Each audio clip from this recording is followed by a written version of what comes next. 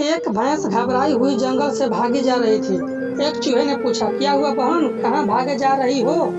भैंस जंगल में हाथी को पुलिस पकड़ने आई है। चूहा पर तुम क्यों भाग रही हो? तुम तो भैंस हो।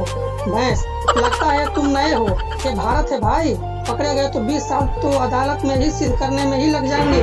कि मैं हाथी नहीं भैंस हूँ। ओ माय गॉड यह सुन भैंस के साथ चूहा भी भागने लगा।